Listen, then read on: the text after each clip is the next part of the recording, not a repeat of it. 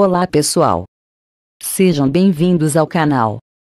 Nesse vídeo, iremos apresentar mais uma lista de 10 filmes de terror da lista da Netflix, que foi muito bem falado pela crítica cinematográfica. Espero que vocês gostem. Neste canal, toda quarta-feira tem dica de filmes e série. Aproveitem! Não esqueçam de curtir o vídeo. Isso me ajuda muito, inscreva-se se não for inscrito. Vamos ao vídeo. O ano de 2021 está cheio de lançamentos legais para os amantes do filme de terror, e vários filmes já estrearam nos cinemas. E para você que é fã de filmes de terror, preparei uma lista de filmes que você precisa assistir. O primeiro filme da lista chama-se Um Lugar Silencioso Parte 2. Logo após os acontecimentos mortais, a família Bo precisa agora encarar o terror mundo afora, continuando a lutar. Para sobreviver em silêncio, eles são obrigados a se aventurar pelo desconhecido, e rapidamente percebem que as criaturas que caçam, pelo som, dessa vez, não são só como únicas ameaça que os observam pelo caminho de areia.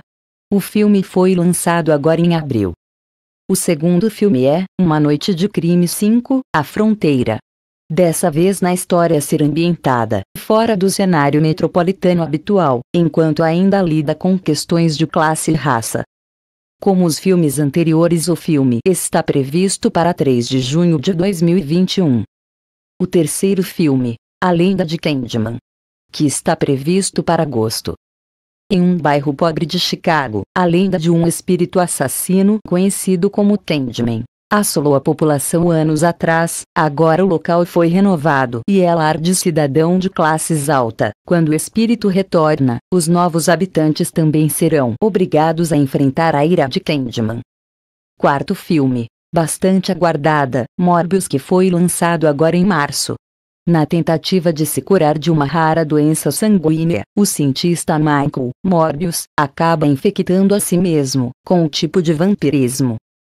O quinto filme chama-se Halloween Hills, que está previsto para 21 de outubro, quatro décadas depois de escapar do ataque de Mike Myers. Em uma noite de Halloween, Laurie Strode precisa confrontar o assassino mascarado mais uma vez após ele escapar de uma instituição e sobreviveu um desfecho do primeiro filme só que vez dessa vez Lou está preparada. O sexto filme, sem dúvida, é o mais aguardado do gênero de terror. Invocação do Mal, A Ordem do Demônio. Ed e Lorraine Warren volta a investigar um caso que passa nos anos 80 sobre o homem que, alega, está possuído pelo demônio. O filme está previsto para 4 de junho. O sétimo filme, que deve chegar ao cinema, é O Espiral. O Legado de Jogos Mortais. Sobre o comando dos veteranos da polícia, Marcos e o detetive Ezequiel se une ao seu parceiro novato, Willem, para desvendar uma série de assassinatos terríveis que estão ocorrendo na cidade. Durante as investigações, Zack acaba se envolvendo no modo do jogo do assassino. O filme foi lançado agora em maio. Oitavo filme da lista, chama-se Escape Room 2, um trailer psicológico sobre seis estranhos, que se encontram em circunstância que estão além do seu controle, e precisam usar seus talentos para encontrar as pistas, ou morrer. O filme foi lançado esse ano, em janeiro. O nono filme é A Escolhida, Verônica é uma autora bem-sucedida, e se encontra presa em dois diferentes períodos, os dias atuais, e o antebelo, a era das plantações no sul, e nessa horrorizante realidade ela deve descobrir o mistério por trás desses acontecimentos, e fugir antes que seja tarde demais. Este filme será lançado agora em 2021, ainda não tem uma data definida.